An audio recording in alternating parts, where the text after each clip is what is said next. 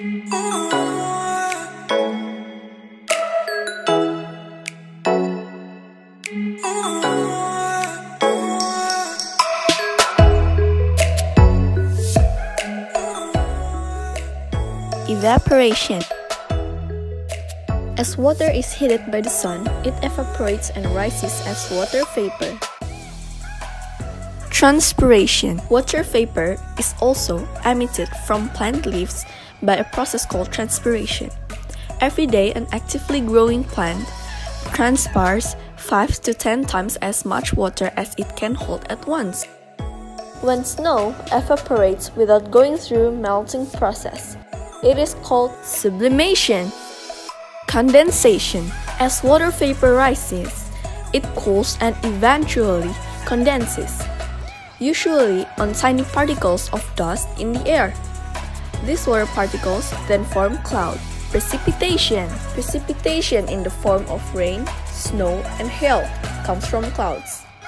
Clouds move around the world propelled by air currents.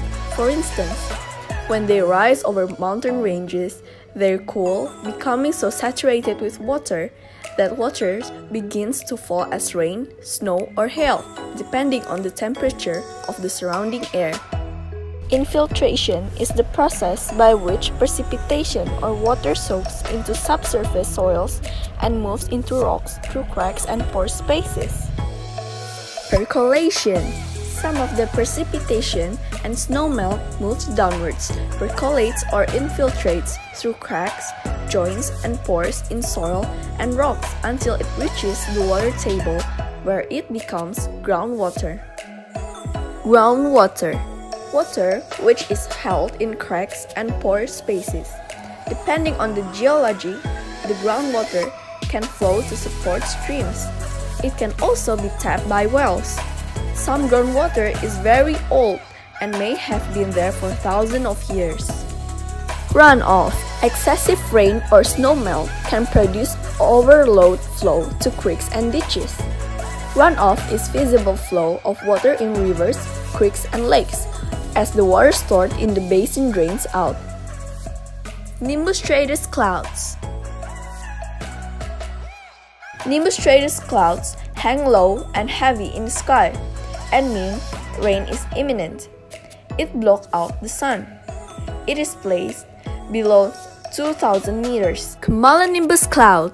Cumulonimbus clouds are a type of cumulus cloud associated with thunderstorms and heavy precipitation. These clouds often produce lightning in their heart. Cumulonimbus clouds need warm and humid conditions to form.